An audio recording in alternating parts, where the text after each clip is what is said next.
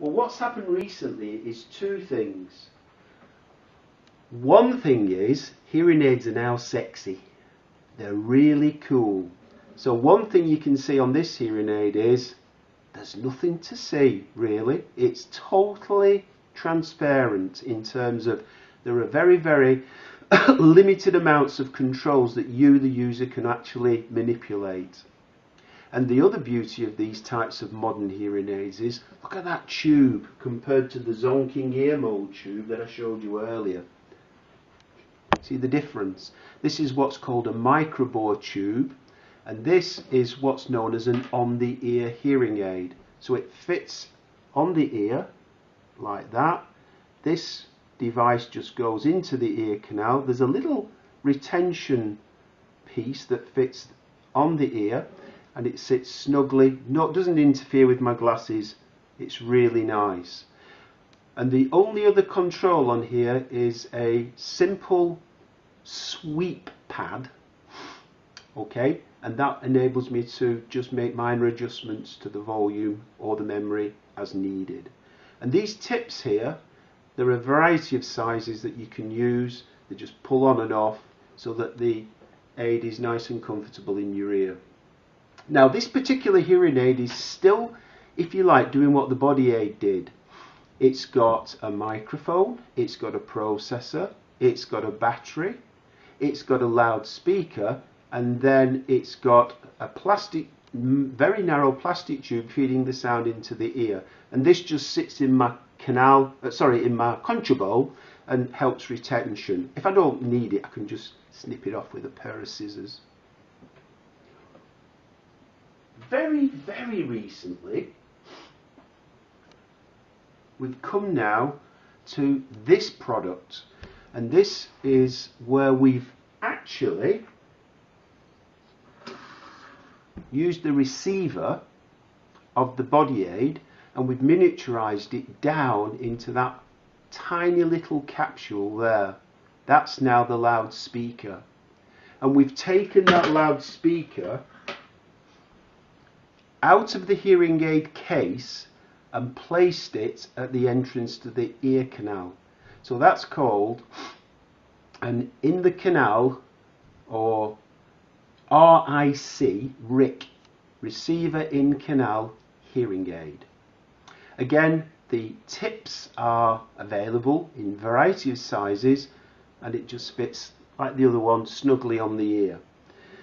The beauty of having the receiver down here is it gives us a much better sound quality and a much stabler performing hearing aid. And that's one of the most popular styles of hearing aid that uh, is provided in the private sector for hearing aid provision in the UK today. We now move on to the final family of hearing aids and these are all handmade individually to the person's ear. So this particular product is handmade for my left ear and it sits like that. And that's called a full shell hearing aid. It fills my ear and I can adjust it with my finger if I wish. Or if I wanted to, today I can use a remote control and then obviously I don't have to fiddle at all with my ear. This is a very popular product because it's easy to handle. The battery is the 13 battery that I showed you earlier that fits in here, closes and anybody who's got a slight manipulation problem maybe because of arthritis generally can manage this type of the product very well. There are then smaller versions of the in the ear. This one is what's known as a half shell and this one is known as a canal aid. So let me just take this as an example and this is made for my right ear so I'm just going to pop it in my right ear. Bingo. And it's now sitting in my ear. And as you can see, it's much smaller and more discreet than the full shell that I showed you earlier.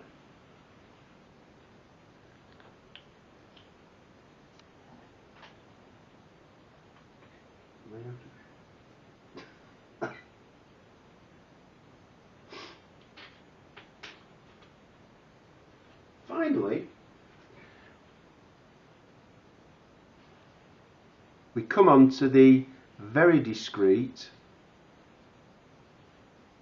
CIC completely in the canal and IIC invisible in canal hearing aids. But bear in mind what I said at the start, they still have in them what the body aid had in them, a receiver, a loudspeaker, an amplifier, signal processor, a microphone and a battery. But boy, we've come a long way, haven't we, from the invisible aid and that is one of the most sophisticated signal processing devices on the planet today. It's truly remarkable. The computing power that that thing has is just amazing. And it all works on this tiny little battery. This little tiny battery that enables it to do its job. That's a 16 channel digital hearing aid and it has in it signal processing called IQ that enables it to determine what is speech and what is noise and reduce the noise. Quite amazing. So to conclude this video I just want to mention again that we've come from this type of a product to this type of a product in a relatively short time. We started in analog world and we obviously had a lot of hardware to accommodate. Today we're down at this level or as popular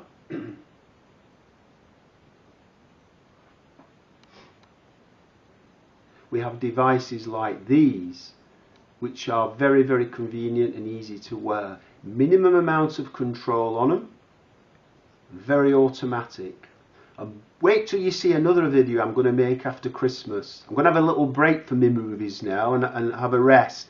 But after Christmas I've got some cool videos for you on wireless hearing aids. And these are absolutely amazing things.